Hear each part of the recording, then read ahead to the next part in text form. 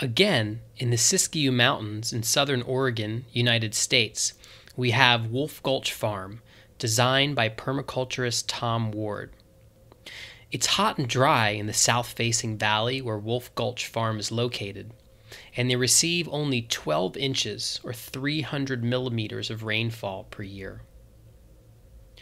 Winter rains fall onto their watershed and slowly soak in, eventually making their way to a spring in the gulch, where some of the water skimmed off and diverted into a reservoir uphill of the crop areas that feeds the farm's irrigation system using gravity. You can see the aridity in the dry vegetation and hills that feed this watershed. During heavy rains, water that falls on the road surfaces is channeled into a larger reservoir.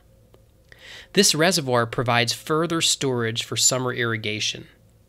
You can see that the road acts as a funnel for excess runoff to be delivered to the storage. The pattern of the beds and tree belts are designed to rehydrate the landscape by retaining water during storm events. The trees are also placed so they deflect frost drainage that comes down the valley away from field crops. The trees also block hot, drying winds that flow up the valley during the day. Another pond collects water off of the barn roof, which provides complete runoff in any rainstorm. You may have noticed that the ponds here are lined with plastic on this farm.